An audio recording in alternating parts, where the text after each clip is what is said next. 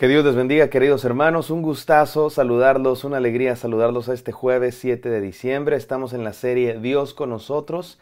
Este es el día 7 y se titula Dios te está buscando. Estamos en nuestra serie de Navidad reflexionando sobre la historia del nacimiento de Jesús según se narra en el Evangelio de Mateo. Y hemos estado viendo la genealogía de Jesús porque así comienza a contar la historia de Jesús Mateo con una lista de nombres, la familia de Jesús.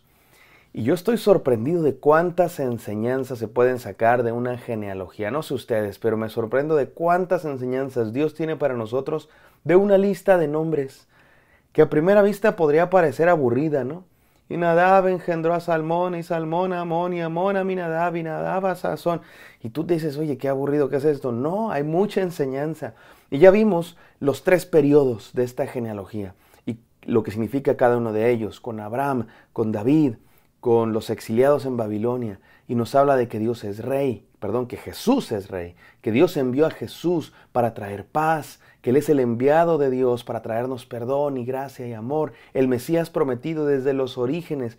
Y hemos estudiado esto durante varios días y ahora nos vamos a concentrar en cinco personas de esta genealogía, cinco nombres que se mencionen, porque son muy interesantes estas cinco personas. ¿Saben por qué? Porque se trata de mujeres.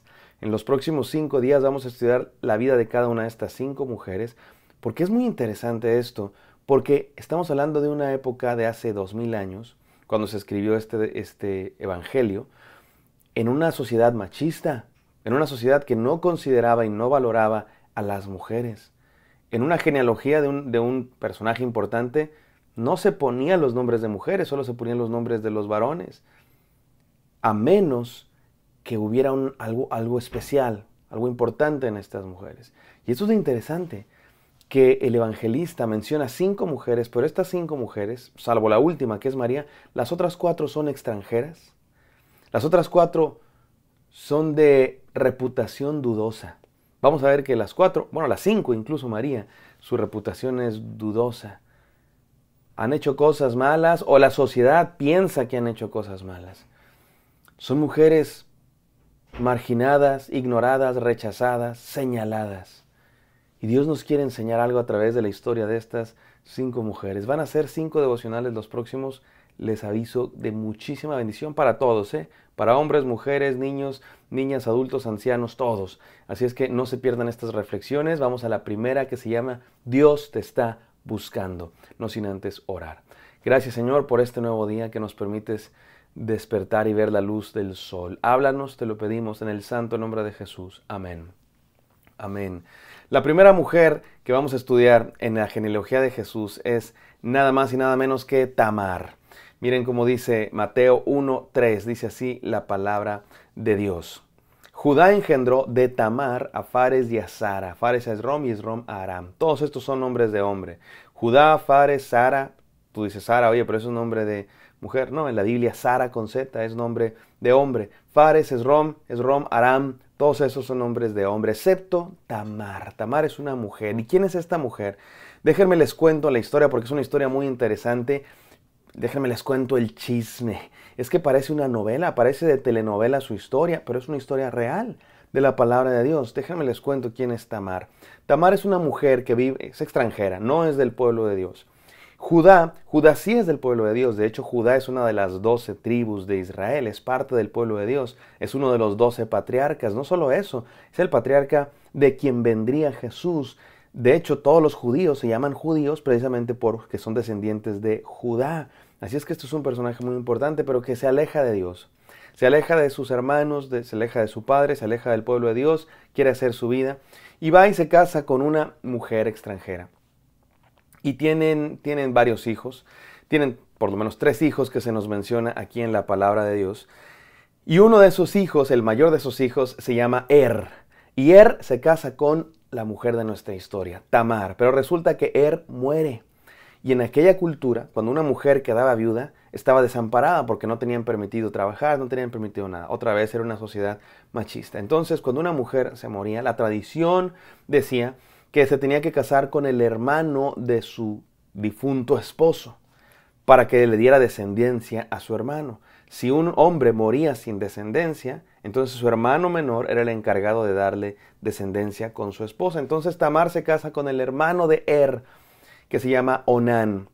Pero Onán era un hombre malo y no quería tener hijos con Tamar, así es que la hizo su esposa y sí tenía relaciones con ella, pero dice la Biblia que terminaba fuera para no embarazarla.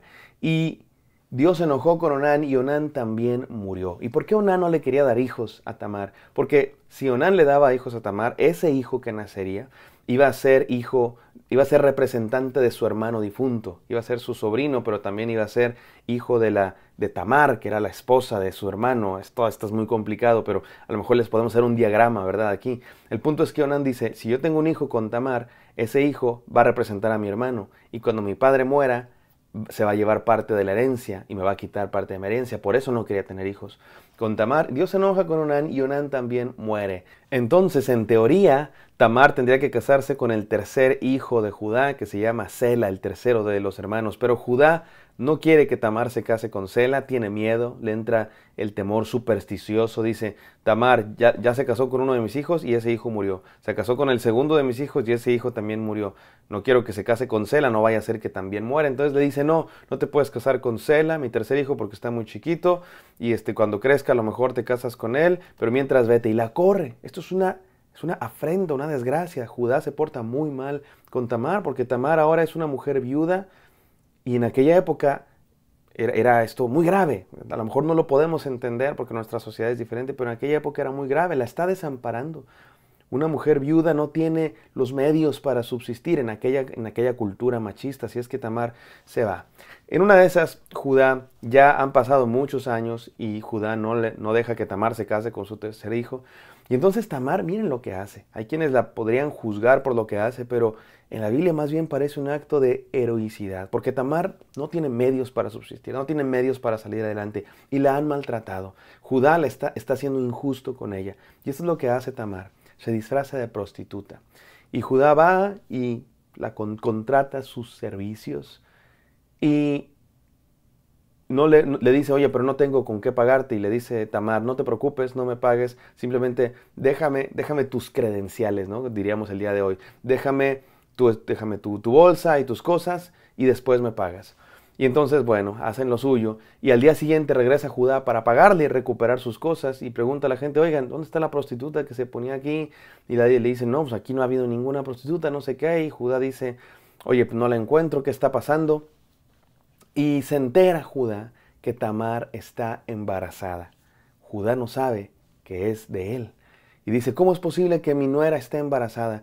Y va y le dice, tú eres una mujer mala, eres una mujer de lo peor, te vamos a apedrear. Porque eso decía la ley que tenían que hacer con una mujer que quedara embarazada fuera del matrimonio. Y dice Judá, la vamos a apedrear, la vamos a matar. Y Tamar le dice, está bien, hagan conmigo lo que quieran, pero déjenme les digo algo. El padre de mi hijo es el dueño de estas cosas y enseña las cosas de Judá y lo pone en vergüenza delante de todo el pueblo. Y entonces Judá dice, yo he sido malo contigo, Tamar, he sido malo porque tú, porque te he tratado mal, porque te desamparé, porque te corrí de mi casa. le pide perdón y la toma, pues no, no, estoy seguro que como su esposa, pero sí toma a los hijos como sus hijos. Y van a nacer dos hijos de Tamar y Judá. Es una historia rara, ¿verdad? Porque resulta que Tamar tiene hijos con su suegro. Lo interesante es que esos dos hijos, mis queridos hermanos, uno de ellos es el ancestro de David, el rey David, y de nada más y nada menos que Jesús. Fares se llamaba el hermano. Este niño que nació, nacieron gemelos, Fares y Sara, y uno de ellos dos, Fares, es el hijo de Tamar y Judá que se va a convertir en el ancestro del rey David y en el ancestro de Jesús. Qué historia, mis queridos hermanos, qué historia tan, podríamos decir, rara, podríamos decir de telenovela, incluso en, cierto modo a lo mejor hasta ni, ni muy apta para menores, pero nos habla de varias cosas. Nos dice que Dios, mis queridos hermanos, es tan poderoso y, y lleno de tanta gracia que Él puede actuar con cualquiera, que Él puede estar presente en cualquier familia, por más disfuncional que sea tu familia, Dios puede hacer cosas grandes con tu familia. Por más rara, por más desordenada que sea tu vida, Dios puede hacer grandes cosas contigo. Déjame, vamos a las tres enseñanzas del día de hoy. Número uno, déjate encontrar por Dios. Mi amado hermano, déjate encontrar por Dios. Dios te está buscando. Dios estaba buscando a Tamar. Tamar había sido ignorada, rechazada, maltratada por todos, menos por alguien, por Dios. Dios la vio, la escogió para ser una de las antecesoras del Mesías, Cristo Jesús. Igualmente a ti, mi hermano, seas quien sea, Dios te está buscando, te quiere usar. Número dos, encuentra tu identidad en Cristo Jesús. Una de las cosas que nos enseña esta hermosa genealogía es que Dios no hace acepción de personas, Dios no rechaza, Dios no discrimina. Tu identidad no depende de tu nacionalidad, de tu color de piel, no de, tu identidad más profunda depende de lo que Dios ha hecho por ti. Dios envió a su Hijo a la cruz por ti. Él pagó su sangre por ti. Él no hace acepción de personas. Eso es lo que eres, un redimido por sangre. Tamar se podría haber sentido como una rechazada, como una maltratada, como una mujer marginada en una sociedad machista, pero ella encontró su identidad en Cristo Jesús, en Dios, porque Dios la escogió para ser parte de su familia. Y número tres, está, está medio rara esta enseñanza, pero ahí te va. Agarra al toro por los cuernos. ¿Qué es agarrar al toro por los cuernos? Mi querido hermano, cuando la vida nos presente dificultades como a Tamar, me encanta la historia de Tamar, me encanta, porque Tamar tenía todo por perder y sin embargo no se quebró. Muestra resiliencia, sale como el ave fénix, renace de las cenizas y dice, yo voy a, yo voy a salir adelante porque voy a salir adelante. Yo conozco montones de mujeres así, mujeres que luchan por, por su familia, que luchan por salir adelante, hombres también, por supuesto, que luchan por salir adelante. Se puede hacer eso, mi hermano, porque Dios no hace acepción de personas y Dios da nuevas oportunidades. Vamos a orar. Gracias Padre Santo por este devocional. Gracias por esta historia que nos recuerda que en ti hay nuevas oportunidades. En el nombre santo de Cristo Jesús. Amén. Amén, queridos. Espero que esto haya sido de bendición para ustedes. Me encantaría encontrarlos el día de mañana. Bendiciones.